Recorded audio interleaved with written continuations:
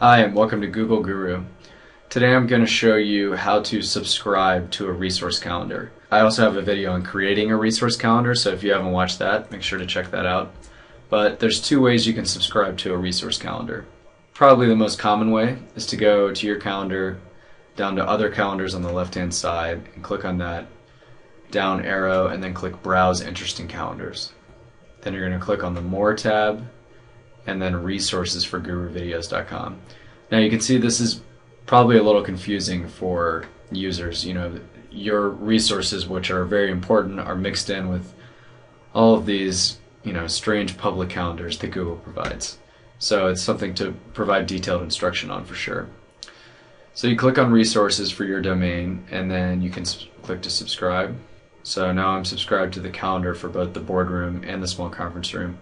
I'm going to unsubscribe from the small conference room just so I can show you something else here.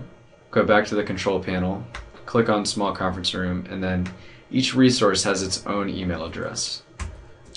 So you want to copy that, go back to Google Calendar, and then click add a coworkers calendar. Now you can see I have small conference room and boardroom under my calendars. I'm going to go to create an event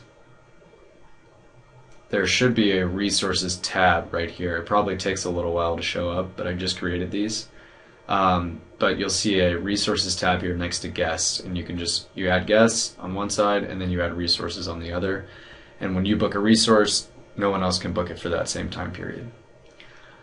Hope that was helpful, and as always, let me know if you have questions in the comments. Thanks.